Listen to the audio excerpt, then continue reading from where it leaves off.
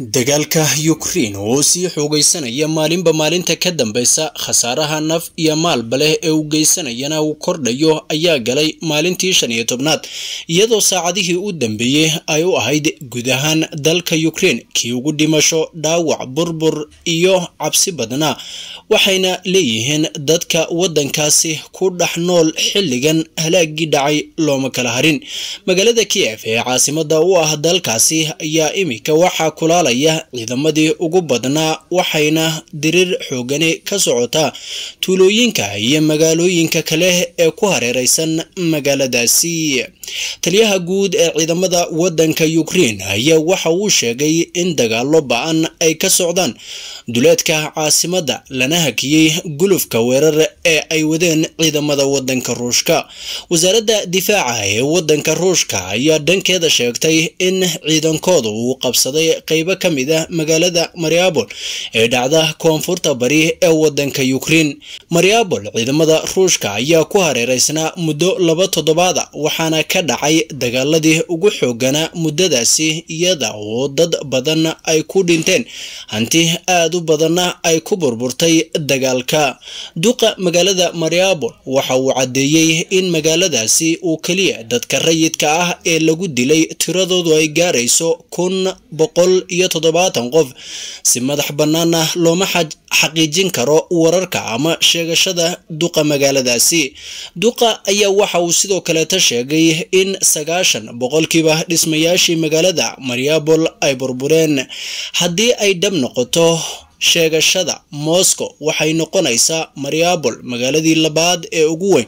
ee Ukraine ee ay gacanta ku dhigaan ciidamada Russia ma jiro wax wara oo ka soo baxay dhanka Ukraine oo ku aadan sheegashada wasaaradda difaaca ee waddanka Ruushka.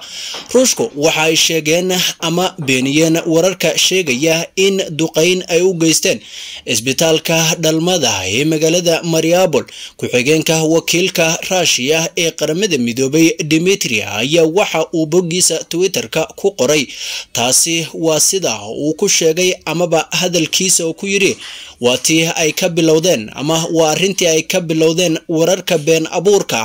ee hadda xarkaha goostay. Maraykanku waxa uu sheegay in ciidamada ruushka ee dagaalka lagu dilay ay gaarayaan ilaa iyo hadda oo maalintii shan iyo tobnaad lagu jiro. Shan kun ilaa lix kun Ukraine iyadu waxa ay sheegtay in ay dishay labiyo toban kun laakiin ruushka ayaa toddobaadkii hore waxa uu qirtay in ku dhowaad shan boqol oo askari looga dilay dagaalka. Dhammaan tirooyinka cid madax bannaan oo xaqiijin karta ma jirto waana keliya sheegasho iyo qirasho dhinacyada ishaya madaxweyne ku-xigeenka maraykanka Kamala Harris ayaa gaartay magaalada Warsaw ee caasimada Poland iyadoo wadaxaajood la gelaysa madaxda Poland sidii diyaaradaha dagaalka ee MiG labaatan iyo sagaal ee Ruushka uu farsameeyo. Loo siin lahaa Ukraine inkasta oo horey ay uga biyadideen waddanka Poland arrintaasi.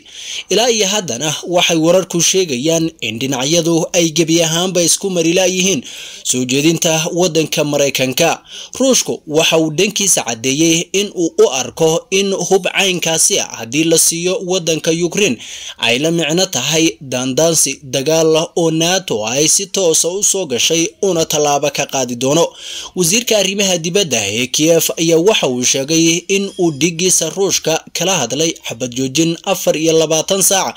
balse waxa uu caddeeyey in aan wax horumara laga samaynin arrinkaasi. Wakiilka dhinaca Moscow ayaa difaacay duulaanka waddankiisa uu ku qaaday Ukraine isaga oo tilmaamay in sidii loogu talagalay ay wax waliba u socdaan. Wasiirada arrimaha dibadda ee Ruushka iyo Ukraine ayaa maanta oo Khamiisa ku kulmay dalka Turkiga wada hadallo foolka fool ana yeeshay waxauna noqonayaa xiriirkii ugu horreeyey ee heer sare ah oo dhex mara labada dhinac tan iyo markii Moscow ay weerartay dariskeeda iyo sidoo kaleeto saaxiibkeedii hore ee midowgii Sovieti bishii hore ee aan ka soo gudubnay. Wadahadaladii kaleeto ee dhinacyadan u dhexeeyey ayaan ilaa iyo hadda wax miro dhalah laga gaarin. Waxa ugu muhiimsanaa ee la doonayay in arrintaasi lagu xaliyo waxay ahayd xabad joojin ay dhinacyadu isla gartaan wararkuna waxay sheegayaan in aysan jirin haba yaraatee wax xabad joojin ah oo laysla qaatay oo ku saabsan arrintaasi. Wadahadaladuna waa kuwo hadda taagan dibna loo garanaynin xilliga ay bilaaban doonaan. Dowladda turkiga ayaase dadaallo xoogan ku bixinaysa wadahadal dhinacyadan dhexmara waxayna ku guulaysatay in wasaaradaha arrimaha dibaddu ay si foolka foola isu arkaan. Maalinta beriha ayay sidan oo kaleeto mar kale la filayaa inay madal diblomaasiyadeed dhinacyadu isugu yimaadaan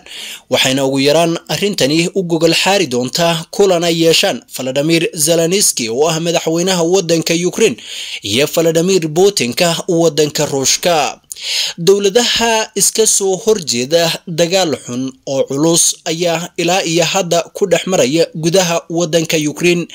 Wararkii ugu dambeeyey ee halkaasi naga soo gaarayana waxay sheegayaan in ciidamada waddanka ruushku ay dib dukhaymo aad u culus uga bilaabeen magaalada mariabol oo muddo toddobaadya ay ku hareereysnaayeen qaybo ka midana qabsashadeeda ay sheegeen inkasta oo lagu eedeynayo falal bani-aadamnimada ka dhana in ay halkaasi ka geysteen. Wadamada ruushka iyo turkiga ayaa iyagana dhinacooda laysku xaglinayaa kadib markii ay wadahadalladan dib u bilaabeen maadaama horay waddanka turkiga iyo ruushku ay xiriir wanaagsan u lahaayeen. Sidoo kaleetana calaqaadkaasi inta muddada a socday ayay waddamada reer galbeedka iyo naataba xilligan u aanaynayaan in waddanka turkigu uusan daacad u ahayn waxaa kaleeto oo maanta warbaahinta qabsatay hadalhayn dib u soo baxday oo ah in heshiiskii ay horay u wada galeen. Dhinacyada ee dhinaca kala iibsashada hubka ah gaar ahaan s hubka loo yaqaano ee lidka diyaaradaha taasi oo mar kaleeto la isweydiinayo waxa uuna sheegay wasiir ku-xigeenka wasaaradda gaashaandhigga ee waddanka maraykanka in ay tani tahay mid mar kaleeto dib u cusboonaysiin karta xiisada waddanka maraykanka iyo sidoo kaleeto waddanka turkiga. Khilaafka dhinacyadan u dhexeeya waxa uu xoogaystay kadib markii waddanka turkigu si bareer ah oo cad xiriir ula yeeshay. Hubkaana uu ka gatay inkasta oo weli uusan isaga waddankiisa soo gaarin laakiin haddana waxay u arkaan inay tahay guul weyn oo ay gaareen ayna mustaqbalka dhow ku naaloon karaan in ay isbeddel arrintaasi ku saabsan ay sameeyaan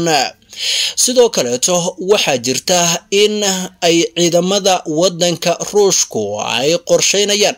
Adeegsiga hub cusub oo ka duwan midka ay hadda isticmaalaan sida wararka qaarkood ay sheegayaan. Wadamada caalamka ayaa horey uga digay hubka noocaasa isticmaalkiisa waxayna wararku sheegayaan inuu yahay mid kiimikadu ay ku badan tahay laakiin aan gaarsiisnayn nukleerka meelaha lagu tuuro ayay wararku sheegayaan in dhibaato badan uu dadka shacabka ah guryaha iyo deegaankaba uu u geysan karo. Waana xaaladii ugu dambeysay oo ciidamada ruushku ay xilligan qorsheynayaan inay adeegsadaan. Inkasta oo dagaalka ay hareeyareeyeen warar been abuura iyo sidoo kaleeto barabagandhooyin ay dhinacyo iska soo horjeeda oo kala duwan fidinayaan.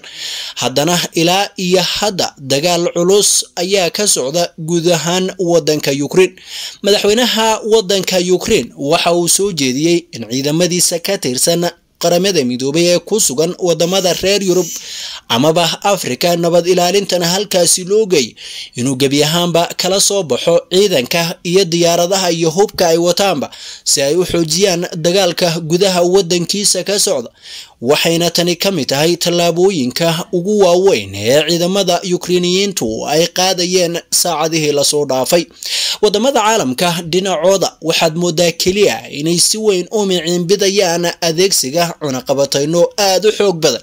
Laakiin tallaabada ah in diyaaradaha miiga ee ku sugan gudaha waddanka poland ee uu horey ruushku u farsameeyey ee xilligan ay nato doonayso ama maraykanku doonayo in la siiyo ukraine ay qayb weyn ka noqon doonto dagaalka. M i g oo uu horey ruushku u farsameeyey ayaa ah diyaarado awood badan leh waana kuwa ay horay nato iyo wadamo badani uga iibsadeen gaar ahaan waddanka poland oo ukraine darisla waxay u arkaan haddii ay qaadaan tallaabadaasi ayna aqbalaan codsiga waddanka maraykanka. Inay tani iyaga dib ugu soo noqon doonto xaalad adagna ay kala kulmi karaan